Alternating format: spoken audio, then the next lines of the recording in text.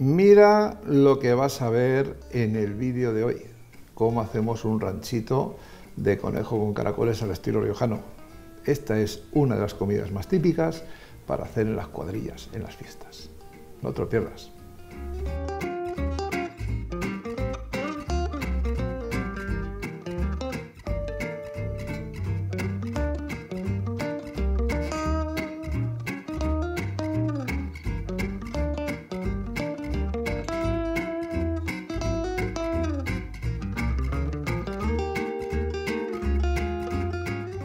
Amigos, amigas, trabajamos mucho para haceros llegar nuestro trabajo en las mejores condiciones posibles. A ti solamente te voy a pedir unas cositas a cambio y son gratis. Suscríbete al canal, es muy importante. Dame like si te gusta el vídeo y haz comentarios en cada uno de los vídeos que veas. Es importante. Muchas gracias. Bueno, pues picamos el ajo en trozos ni grandes ni pequeños. Da, da igual porque se va a cocinar mucho entonces yo creo que se va a, deshacer bastante en todo el tiempo que va a estar cocinando. Pero quiero, quiero que se fría un poquito tanto el ajo como la cebolla antes de ponerle las verduras que sueltan agua, ¿eh? que os lo he explicado ya unas cuantas veces. Sofrito quiere decir sofreír, freír, freír. Si ponemos, por ejemplo, la berenjena, el tomate, pues esas verduras sueltan agua y evidentemente le van a afectar a la fritura. La cebolla, bueno, pues lo mismo, lo cortamos así fino y ahora al contrario. ¿Dónde te vas, cebolla? ¿Dónde te vas? Está la cebolla con ganas de irse al guiso. Sofreír es solamente con aceite. Bueno, este, esto no debe preocuparnos porque la zanahoria no va a soltar agua. Es una de, estas verduras súper secas que prácticamente no suelta nada. En fin, la gracia de esto es que la carne de las verduras se deshaga un poquito y haga una salsa amalgamada ¿eh? con el sabor a pimiento, a tomate, a cebolla, a la berenjena que le vamos a poner ahora y es lo que hace que luego esté tan rica. Bueno, pues eso. Ya terminamos con el pimiento y para adentro.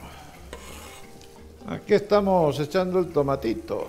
Como podéis ver, bueno, lo corto un poquito así primero y después lo troceamos más pequeñito.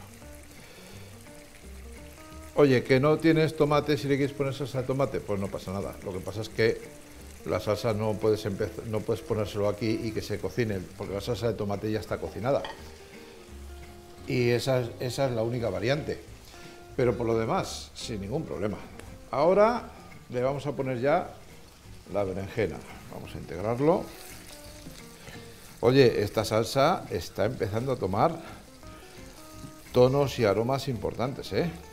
Fijaros qué base le estamos poniendo al conejito para que disfrute. Bueno, a ver, berenjena.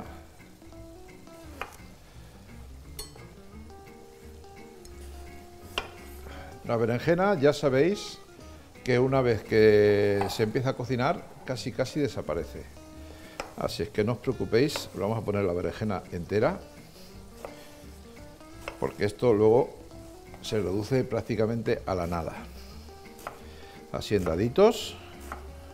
Oye, es que, ¿cómo se lo di a mis niños si le pones vino? ¿Podemos eh, cambiarlo por otra cosa?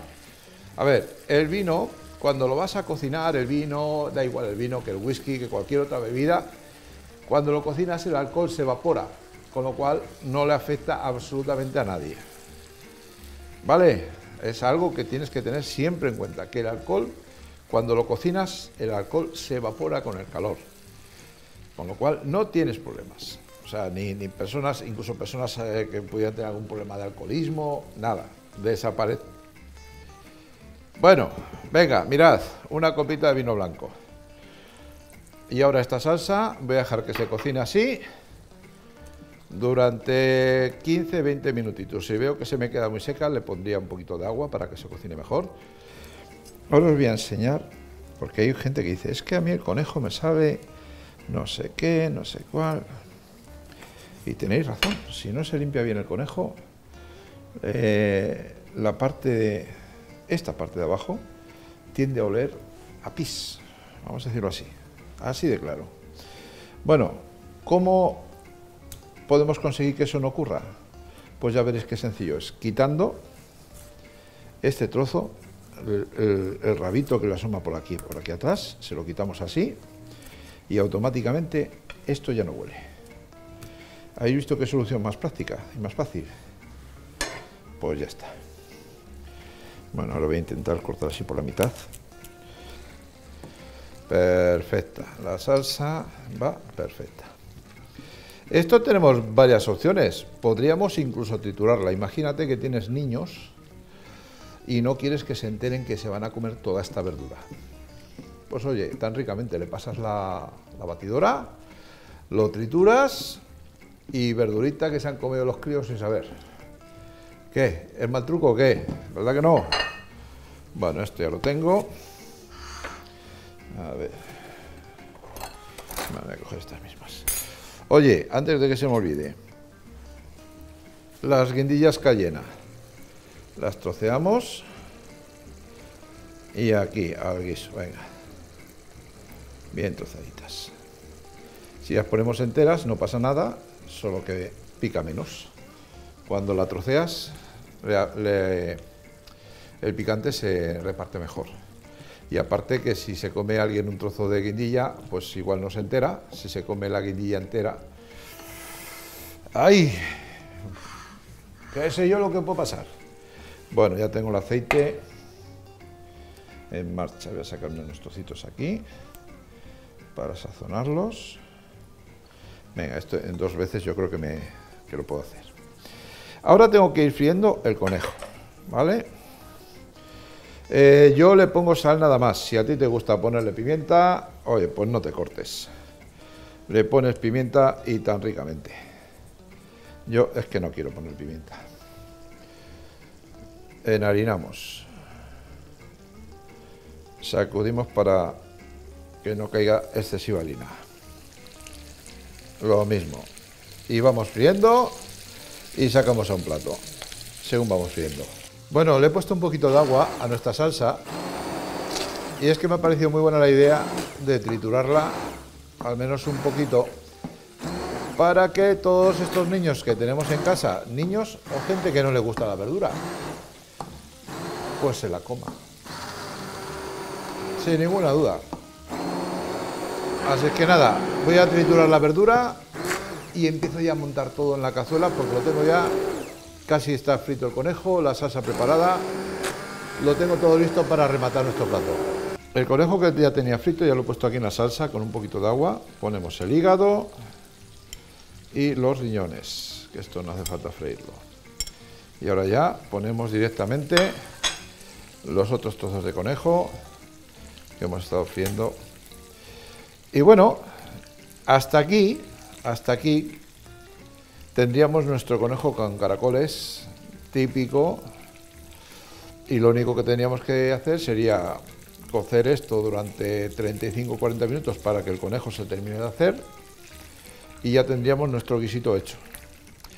Pero ya os he dicho que íbamos a convertir un segundo plato en un primer plato de lujo como es el rancho de conejo con caracoles típico de La Rioja, que en tantas y tantas fiestas, y además sé de una persona que ama, ama el rancho, eh, fin, Frank, que va por todas las fiestas aquí en La Rioja preguntando a la gente, oye, ¿qué haces? ¿Qué no haces? ¿Qué tal? Y me le, le invitan a comer y dijo que un día le invitaron a comer tres ranchos en el mismo día. Bueno, pues así puedes comparar, Fran, no te quejes. Hay gente que le invitan a comer cosas peores. Bueno, pues ahora es cuando yo, mirad, las patatas, picamos en cachelos. Cachelos quiere decir en trozos pequeños, pero haciendo clic. ¿eh? Esto que pasamos el cuchillo y rompemos la patata. Esto ahí. Esta así y esta otra. Ahí, que se vean bien vistas las tajaditas.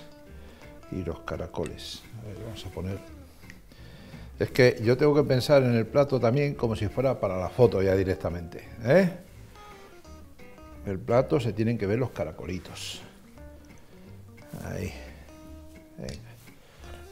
Bueno. Yepa.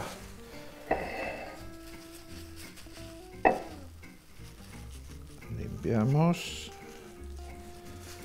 Y nos queda un plato niquelado, oiga, niqueladito.